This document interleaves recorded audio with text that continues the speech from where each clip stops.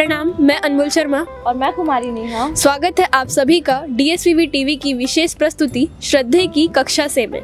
देव संस्कृति विश्वविद्यालय के मृत्युंजय सभागार में चल रहे चैत्र नवरात्रि के तृतीय दिवस पर कुलाधिपति श्रद्धेय डॉक्टर प्रणब पांड्या जी ने अपनी रामचरित्र मानस की विशेष कक्षा में राम अवतार का महत्व बताया।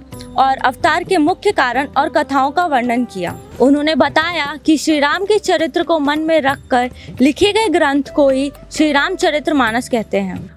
कि हम कैसे जुड़े? भगवान से जुड़ते हैं, हम भगवान राम जब आते हैं, जब अवतार लेते हैं, सोई जस गाय भगत भव रही। उनके यश को गाकर जो भक्त होते हैं, वे संसार से पार हो जाते हैं। कृपा सिंधु जन हित धनु तनु धरही भगवान कृपा सिंधु है, कृपा के सागर है। ये उन्हीं उसी कारण वो ये जो नर नर्तन है, वो धारण करते हैं। भगवान श्री राम भक्तों के हित के कारण। भगवान शिव कहते हैं पार्वती, अब मैं तुमको सुनाता हूँ, हर कल्प में भगवान के अवतार हुए हर कल्प में। राम जन्म के हेतु अनेका, परम विचित्र एक ते एका एक नहीं, राम जन्म कहते कि कई कथाएँ हैं, कई कई हेतु ये तो हम दो ही दो ही की बात करेंगे, एक एक इसमें, एक दो दो दो ही नवरात्रि की बात करेंगे।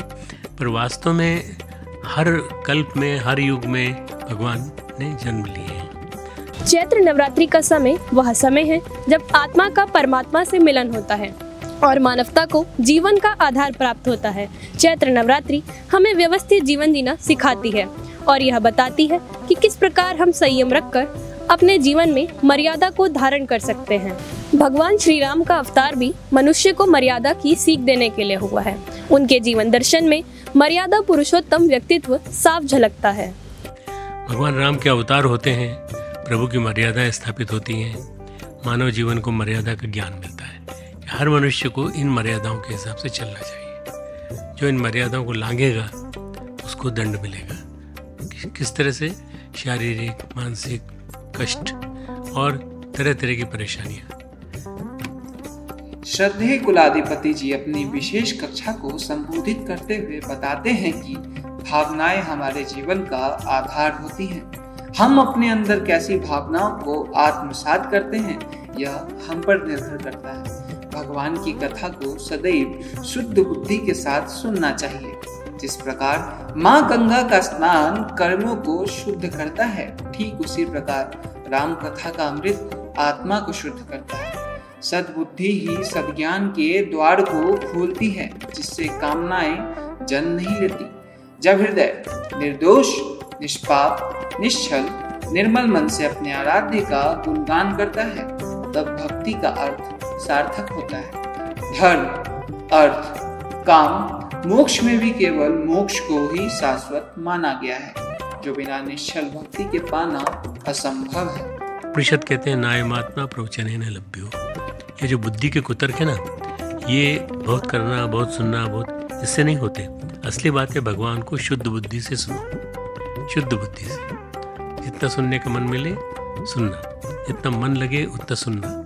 सुनने के साथ ही, कथा श्रवण के साथ ही, चित्त को साफ़ करते। भगवान को अपने भक्त से सिर्फ़ निष्काम और दोष रहित प्रेम की कामना होती है। नौ दिवसीय विशेष कक्षा में श्रद्धे ने रामचरित्र मानस का वर्णन करते हुए बताया है कि जो मनुष्य शरीर का नाश होने से पूर्व काम और क्रोध को जीत लेता है वह योगी और सुखी होता है।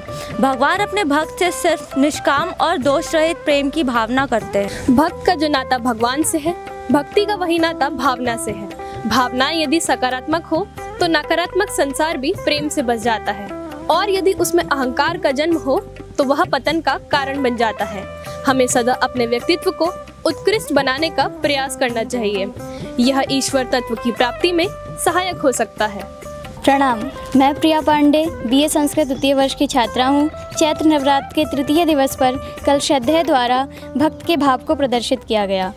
श्रद्धे ने बताया कि भक्त बड़ा हो या छोटा, अमीर हो या गरीब, उसका रंग रूप आकार नहीं देखा जाता, बल्कि देखे जाते हैं उसके भाव। उदाहरण स्वरूप जैसे हनुमान जी और गिलहरी।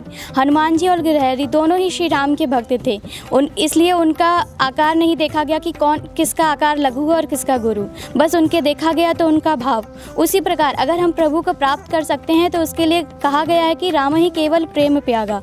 अर्थात राम को हम, भगवान को हम सिर्फ़ प्रेम के द्वारा प्राप्त कर सकते हैं। उसके प्रति जो भाव हमारे मन में होते हैं, हम भाव के द्वारा प्रभु को प्राप्त करते हैं क्योंकि प्रभु भाव के भूखे होते हैं। इसी प्रकार अमृत स्वरूप प्रेम स्वरूप और संतोष जैसी भावना अपने अंदर आत्मसार करने के लिए जुड़े रहे श्रद्धे की विशेष कक्षा में। और देखते रहे हमारा YouTube channel D S TV आपको यह प्रस्तुति कैसी लगी? अपने महत्वपूर्ण सुझाव हमें कमेंट बॉक्स में लिखना ना भूलें। धन्यवाद।